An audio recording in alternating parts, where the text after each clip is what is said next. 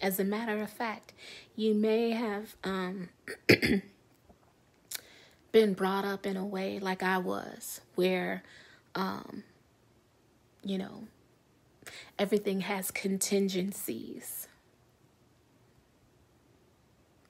And my life is no longer about contingencies. Now that I'm 46 years old, I remember that I was baptized into my religion when I was 13 years old.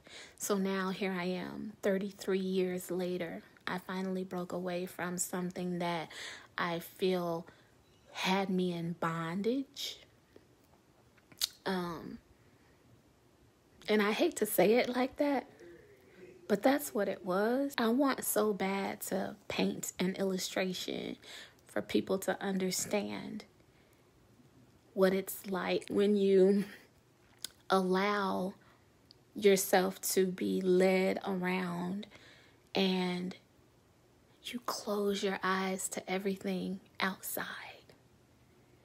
You just will not let anything outside in whatsoever because you've been taught that it is dangerous for you.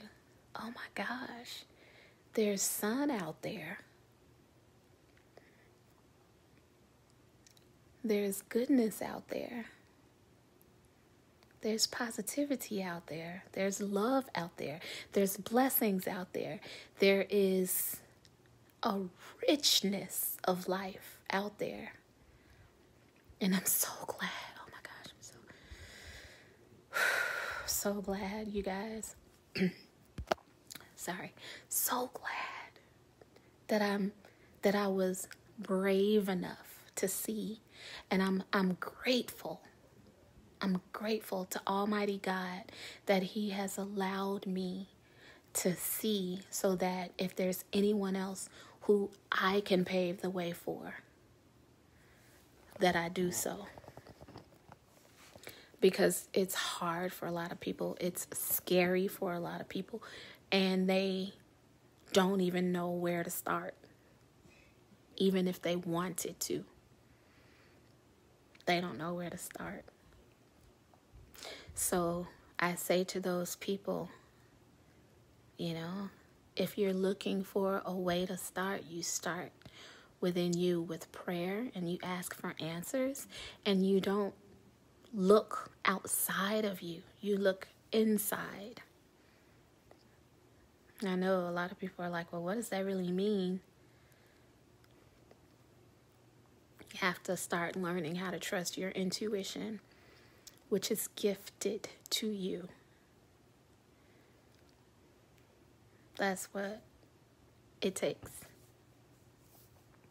Trusting yourself, which is something that I was taught all my life that we cannot do. We cannot trust ourselves, we cannot trust our, our hearts.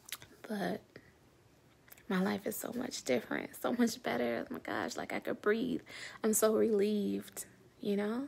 And I don't like chains and restrictions and all of that. Like, I'm not that kind of person. I'm such a different person from all of that. I've never been the type of person that can just go with what I'm told because I was told, and that's the end all be all. That never made sense to me. I hope that other people can be strong enough mentally to understand who they are and what they're meant for. And you're in my prayers, you know? But mostly, I just, you know, wanted to make sure that I let everybody know that you got to pull together and you have to support each other. You don't want to be jealous in any way. You don't want to um, wish anybody's downfall because any of those things is um, you think that you're doing that to the next person, but mostly you're actually doing it to yourself. You know, you're gagging yourself, you're holding yourself back.